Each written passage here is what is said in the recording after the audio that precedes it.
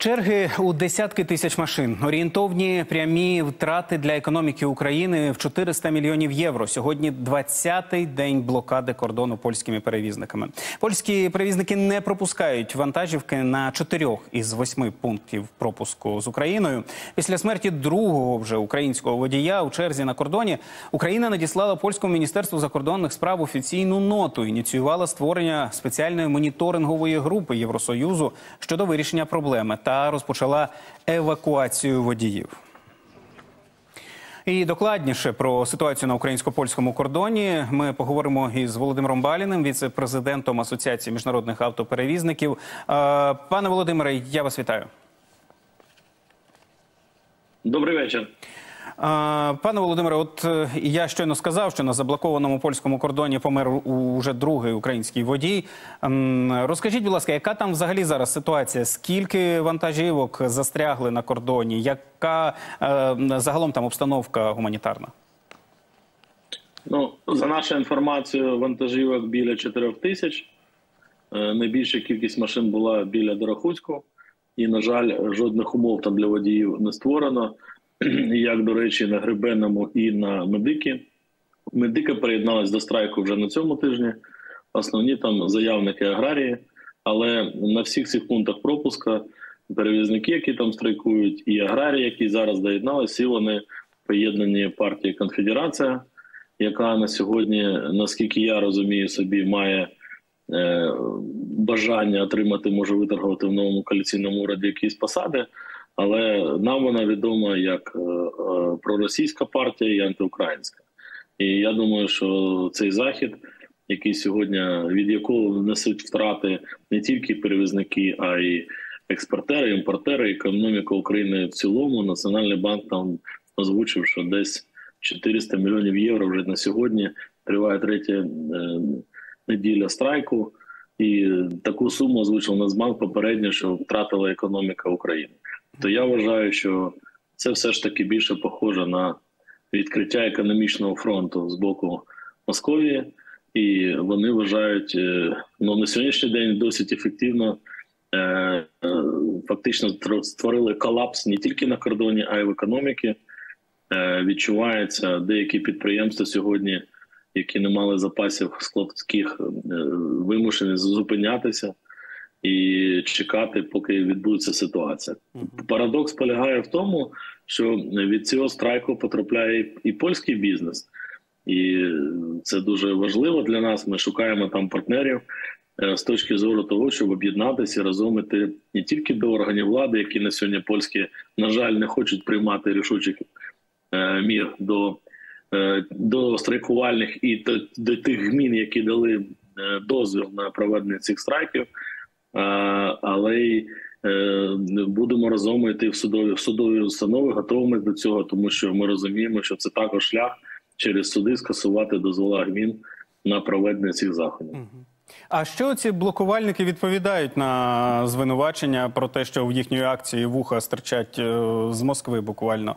Е, і, і взагалі, і чому центральна влада не втручається в розблокування кордону, якщо це вигідно Польщі? Я впевнений, е, через те, е, через те е, не втручається центральна влада, тому що вона зайнята формуванням нової коаліції. Я думаю, що ті люди, які сьогодні при посадах, скоріш за все, вони не мають статус його і, скоріш за все, в нову коаліцію не попадають. Я думаю, що вони хочуть перенести свою відповідальність вже на наступний уряд, до якого, скоріш за все, вони будуть в опозиції. Що стосується московських улуг, то буквально вчора прочитав цікаву інформацію від лідерів партії Конфедерація про те, що е, вони звинувачують Муровецького, що він здає економіку Польщі Європейському Союзу значно більше, ніж вони там е, якимось чином до великої війни офіційно говорили, що треба збажати з Росії. Зараз офіційна така риторика відсутня. Ніхто не визнає, що це є.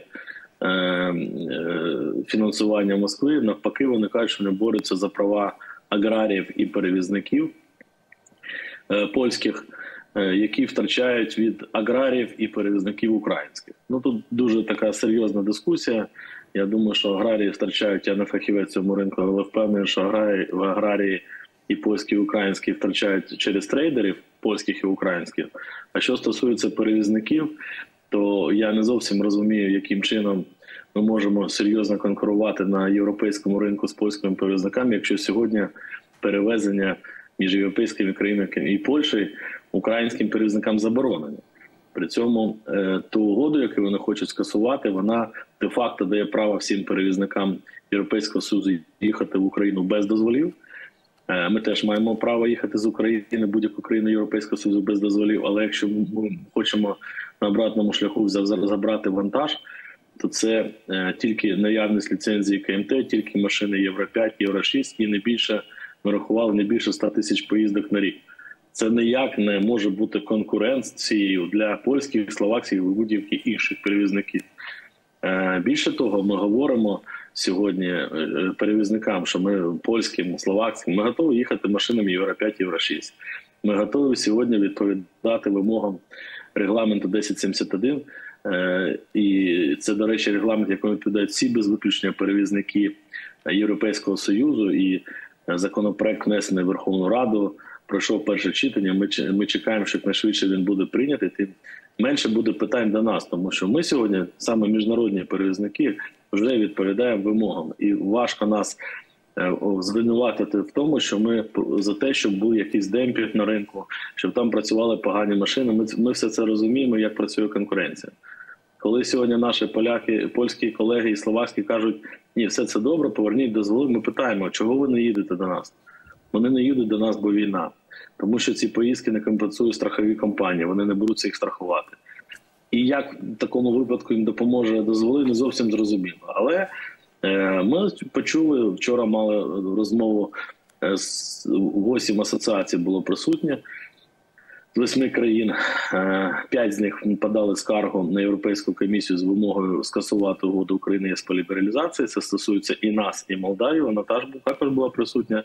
Була присутня Румунія, але вона не підтримує цю е, скасування. Так на питання, е, що ми маємо робити, на їх думку, вони чітко відповіли словаки. Ви маєте привезти товари українські в Словаччину чи в Польщу, в хабі перевантажити і звідти забрати товари європейські на свій ринок. А ми вже на території Євросоюзу будемо возити товари, і це буде наш бізнес, а то важно. То знаєте, як є стара стара Європа, вона скаржиться на перевізників, зокрема в першу чергу Польщі, бо їх найбільше в Європі. Є молода Європа, яка сьогодні скаржиться на нашу поверніть їм дозволи. А фактично цими дозволами вони хочуть зробити нас країну третього світу. Тобто наш бізнес міжнародних перевізників буде працювати тільки на плечі е, з найближчими країнами. Це неприйнятна історія.